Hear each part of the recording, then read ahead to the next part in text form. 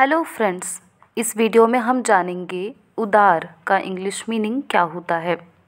उदार का English meaning होता है generous liberal benevolent lenient magnanimous और अंडरमैंडिंग इसे हम एक एग्ज़ाम्पल से समझते हैं। Example the thing I like about him is that he is very generous इस एग्ज़ाम्पल में जेनरस का मतलब है उदार।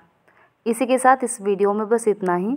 अब आपको कमेंट बॉक्स में बताना है, दयालु का इंग्लिश मीनिंग क्या होता है? Thank you